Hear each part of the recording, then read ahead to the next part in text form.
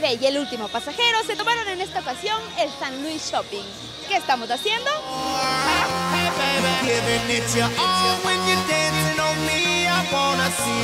Estamos aquí con Juan Fernando y las hermosas azafatas. Vamos a ver qué es lo que nos pueden decir sobre todo este alboroto. Perdón, hola chicos, ¿qué tal? ¿Cómo están? A ver, cuéntenme, cuéntenme qué es todo este alboroto, por favor. Bueno, estamos acá con mucha suerte de poder participar con la gente de San Luis. Hemos traído la actividad más linda, el Memo Pie, que pone a prueba la memoria de los participantes y para eso estamos poniendo acá y regalando mucho también, muchas sorpresas el día de hoy. ¿Y yo puedo jugar?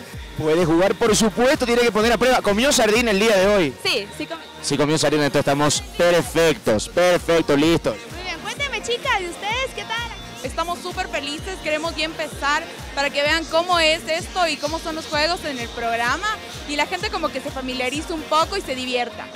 Bueno, ¿y qué tal? ¿Qué más sorpresas van a ver hoy? Va a haber regalos para las personas que concursen, vamos a hacer un concurso de baile, vamos a hacer que la gente se anime y que esté divertida por el, por el último pasajero. Aquí vamos a estar felices todos. Claro, aprovechamos esta oportunidad lindísima que tuvimos, gracias por...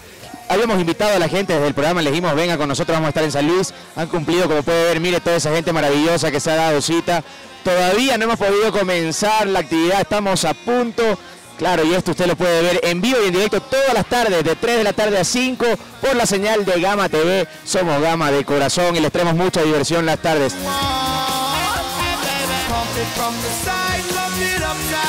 Cuéntame Ricardo, ¿qué ganaste? Eh, un premio al Vulcano Park. Les invito a ver El Último Pasajero. Mi hijo dice que es un programa muy emocionante. Cuéntame qué les parece esta actividad. Es muy importante, para mí es interesante porque cada vez hay programas que repiten, repiten, en cambio acá no. Acá hacen concursos, se divierten y aparte que ganan. El programa más divertido de la televisión ecuatoriana.